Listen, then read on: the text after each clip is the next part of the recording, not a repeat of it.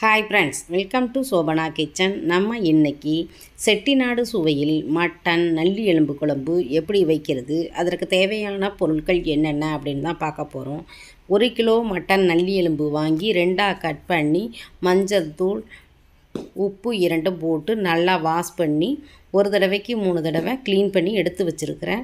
இப்போ இதுக்கு ஒன் ரெண்டு டீஸ்பூன் அளவுக்கு மல்லி விதைகள் ஒன்றரை டீஸ்பூன் அளவுக்கு சீரகம் ஒன்றரை டீஸ்பூன் அளவுக்கு சீரகம் பட்டை ஏலக்காய் மிளகு ஒரு டீஸ்பூன் சிறி இது பிரியாணி இலை சிறிய வெங்காயம் பத்து பதினைந்து ஒரு பத்து பதினைந்து வரமிளகாய் இது எல்லாத்தையும் ஒன் பை ஒன்னாக வறுத்து எடுத்து நம்ம அரைச்சி எடுத்துக்குவோம்.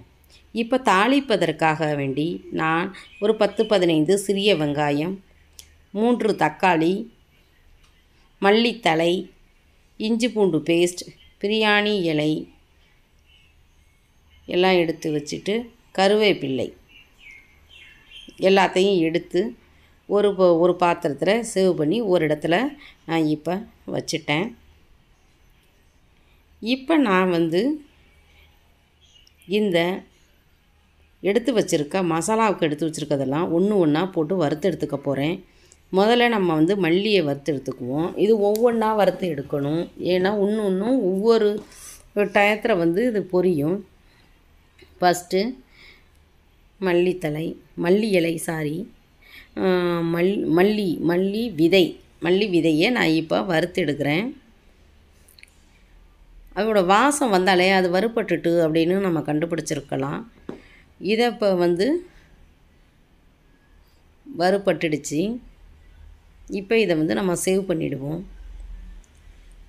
சேவ் பண்ணிவிட்டு அடுத்தது சோம்பு சீரகம் மிளகு எல்லாத்தையும் போட்டு நல்லா வறுத்து எடுத்துக்குவோம்.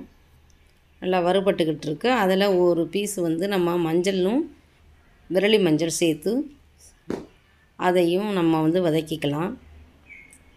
மஞ்சள் தூளுக்கு பதில் விரலி மஞ்சளை அரைச்சி கூட நம்ம சேர்த்துக்கலாம். பாருங்கள் அவ்வளோ பொன்னிறம் வரும்படியும் வாசம் வரும் வரையும் வறுத்தா போதும். இப்போ வறுபட்டுடுச்சு. இதோட சிறிய வெங்காயத்தையும் சேர்த்து நம்ம அரைச்சிக்குவோம். இது வறுத்துக்குவோம். வறுபட்டுக்கிட்டு இருக்கு. இதையும் ஒரு அப்படியே வ- ஒரு பவுலில் இப்போ வந்து நம்ம சேவ் பண்ணிக்குவோம். பாருங்கள் அப்படியே சேவ் பண்ணிக்க வேண்டியது தான் சேவ் ஆகிட்டுருக்குது இப்போ இதில் வந்து நம்ம எடுத்து வச்சுருக்க பத்து பதினைந்து வரமிளகாயையும் நம்ம பொன்னிறமாக வறுத்து எடுத்துக்குவோம். இப்போ வறுத்து எடுத்தாச்சு எடுத்து இது எல்லாத்தையும் மொத்தமாக சேர்த்து நம்ம பேஸ்ட்டாக அரைச்சி எடுத்துக்க வேண்டியது தான் அப்போ தான் வந்து இந்த நல்லி எலும்பு குழம்பு நல்ல வாசமாக இருக்கும். அதனால தான் வறுத்து எடுக்கிறோம். இப்போ சேவ் பண்ணிக்குவோம். நல்லா இன்னமும் வறுபட்டுக்கிட்டே இருக்குது இப்போ நிறம் மாதிரி வந்துடுச்சு. இப்போ இதையும் ஒரு பிளேட்டில் சேவ் பண்ணி எல்லாத்தையும் எடுத்து வச்சாச்சு. இது சூடு ஆரந்தோனியும் அப்படியே இருக்கட்டும். இப்போ நம்ம வந்து ஒரு குக்கரை அடுப்பில் வச்சுட்டு எண்ணெய் சேர்த்துக்குவோம். நல்லெண்ணெயை சேர்த்துக்கோங்க. அப்போ தான் நெல்லி எலும்பு குழம்பு நல்லாயிருக்கும் தண்ணியை வடித்து எடுத்துட்டு இந்த குக்கரை வச்சுக்குவோம். இப்போ எண்ணெய் சேர்த்துக்குவோம். இப்போ நான் வந்து நல்லெண்ணெய் சேர்த்தாச்சு. இப்போ தாளிப்பு கொடுக்க போகிறேன் எண்ணெய் நல்லா காஞ்சிடுச்சு. இப்போ இதில் வந்து நம்ம தாளிப்பு கொடுத்துக்க வேண்டியது தான் சோம்பு இலை பட்டை ஏலக்காய் அந்த கிராம்பு வகைகள் எல்லாத்தையும் நம்ம வந்து எடுத்து வச்சுருந்தது எல்லாத்தையுமே இப்போ நம்ம சேர்த்துட்டோம். அது பொரியட்டும். இப்போ இதில் நாலஞ்சு பச்சை மிளகாய் அதில் கட் பண்ணி சேர்த்து வதக்கிட்டு கருவேப்பிள்ளை சேர்த்து அதையும் நம்ம வதக்கிக்குவோம்.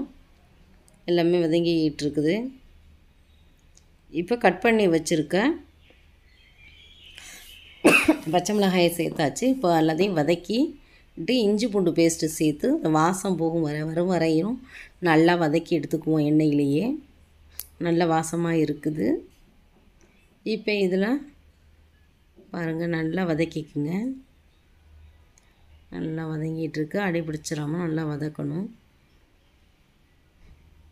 அப்போ தான் வந்து நல்ல வாசமாகவும் தான் இருக்கும்.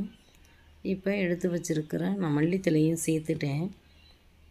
இப்போ கட் பண்ணி வச்சுருக்க சிறிய வெங்காயத்தை சேர்த்து பொன்னிறம் வரும் வரை வதக்கி எடுத்துக்க போகிறேன் நல்லா வதங்கிக்கிட்டு இருக்குது. பாருங்கள் இப்போ கட் பண்ணி வச்சுருக்க தக்காளி ரெண்டு தக்காளியையும் நம்ம சேர்த்துக்குவோம். சேர்த்து அதையும் நம்ம வதக்கிக்குவோம்.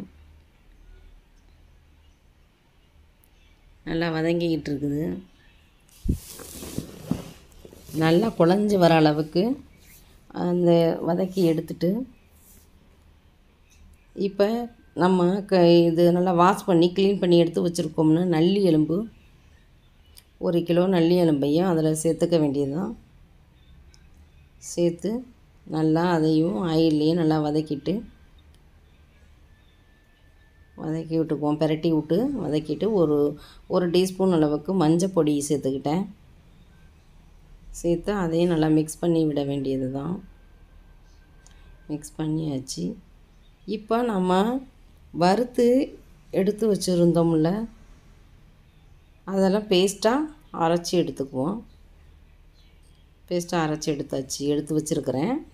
இப்போ இந்த எலும்பில் வந்து தேவையான அளவுக்கு தண்ணி ஊற்றி நல்லா பெரட்டி விட்டு வேக விடுவோம்.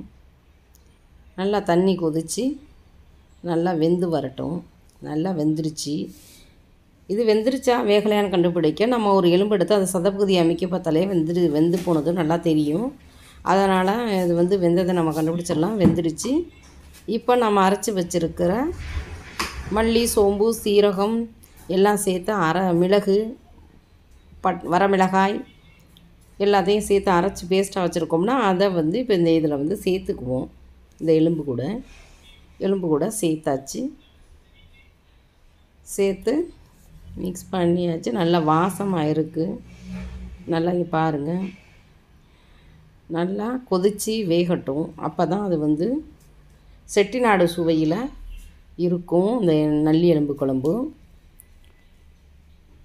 சேர்த்தாச்சு. இந்த நல்லா மிக்ஸ் பண்ணி விடுங்க. நல்லா வாசமாக இருக்குது நல்லா கொதித்து வரட்டும். கொதித்து நல்லா வெந்தால் தான் அந்த எலும்பில் வந்து இந்த உப்பு உரப்பு இந்த காரம் எல்லாம் அந்த மசாலாவெல்லாம் சேரும். அதனால் அது கொதித்து வெந்துக்கிட்டு இருக்குது. பாருங்கள் இப்போ இதுக்கு வந்து தேவை தேவையான அளவு தேங்காயை அரைச்சி இதில் சேர்த்துக்குவோம். அப்போ தான் அது வந்து டேஸ்ட்டு வந்து கரெக்டாக இருக்கும். சேர்த்தாச்சு. இதுவும் சேர்த்து நல்லா கொதிச்சுக்கிட்டு இருக்குது. இப்போ இதில் வந்து தேவையான அளவுக்கு சால்ட்டு கலந்துக்குவோம். சால்ட்டு கலந்து நல்லா கொதிக்கட்டும். கொதிச்சிட்ருக்கு